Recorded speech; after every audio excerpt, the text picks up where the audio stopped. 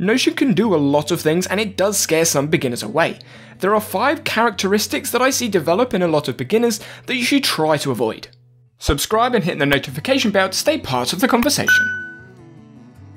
For free Notion templates, check out the link in the description below. So when you see something like this in Notion set up, whether you're watching a video or looking through the Notion templates, you'll see lots of text blocks, to-do blocks, databases, lists, different places to store things, different ways to access information. And all of these things can be built to suit you and your personal preference with your workflow. But just like any app, if you don't know the friction point that you want the app to solve, then you don't really know where you're going to go with the app. So, working out your friction point, working out whether Notion can solve your friction point, and then working out how to build that solution in Notion are the three steps you should look to try and go through. But in the process of going through those three steps, there are five characteristics that I see quite a lot of beginners sort of adopt. The first one that I see is template grabbers. They'll go around looking at different videos, different ideas in the communities, and they'll duplicate loads of templates and they'll try and use those templates or just store those templates for themselves to be used. Now, this is a great way to start learning if you actually dissect the templates and work out how it works. But if you just copy that template for your workflow, it doesn't necessarily work for you, and if you need to change something, you don't know how it works. So when you're looking around for templates, instead of grabbing them and just hoarding them or using them verbatim, duplicate them, dissect them, and learn how they work so you can adjust them and mold them to the way that you work. The second characteristic I see a lot of beginner, intermediate, and even advanced Notion users doing is procrastinating.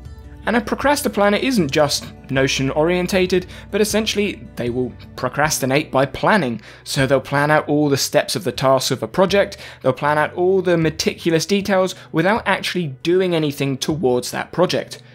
Now, don't get me wrong, I do this as well. I play around with things in Notion to see how planning would work, but there's a difference between planning to do something and planning for the sake of planning.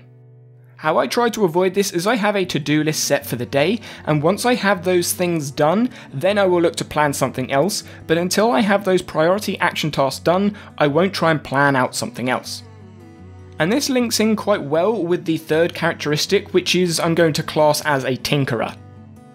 Because of the way Notion has been built and the amount of customization options you have, it is very, very, very tempting to just tinker around with different things, change the color, change the format, change the database, add things in, take things away.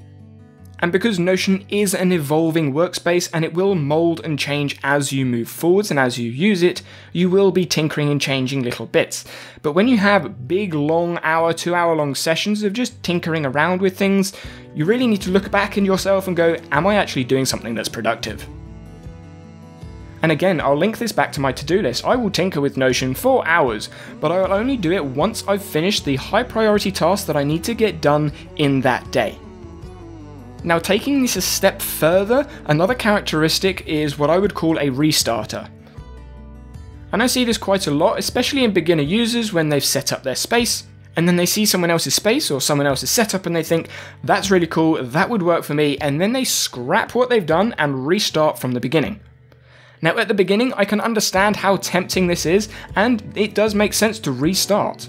But when you've started building up a process that works for you and a workflow that works for you, I would suggest instead of doing a whole restart and just scrapping what you've done and going again, actually use that tinkering and play with different things, play with different aspects of that setup that you've seen. See if it works for you. If it does, then make the change. If it doesn't, then don't make the change. Otherwise, you could be doing a complete restart and then realize actually this isn't productive at all, and you will have wasted time, firstly, restarting your setup. Then, secondly, obviously, you need to change the setup back to the way it was, so you're now wasting more time in essentially starting again. And another characteristic that isn't just for beginners, it's for everyone that uses the app, it's a requester. Someone that's going to request features that aren't currently there, or they're requesting a way to do something that isn't currently suited to the way that they work. Now, we all want to have features that will help us move forwards, and adding features and updates to improve our workflow or improve the abilities of the app is really important. But there's a difference between asking for a feature that might help just you out and asking for a feature that will help lots of people out. And then it's a case of prioritizing which feature do Notion develop. Do they develop the one that everyone wants, or the one that a couple of people want? Now, if there is one specific feature that is a deal breaker, then obviously don't use the app because that's a limitation for your use case. But if it's one feature that another app does really well that Notion doesn't do, either at all, or yet, or well enough, then use the other app and use Notion to bring everything together as like glue. Note taking is one of those topics and things that people like to diverse out and use different apps such as Roam and Obsidian, but if you're interested to see how I note take on Notion, check out this video over here and I'll see you there.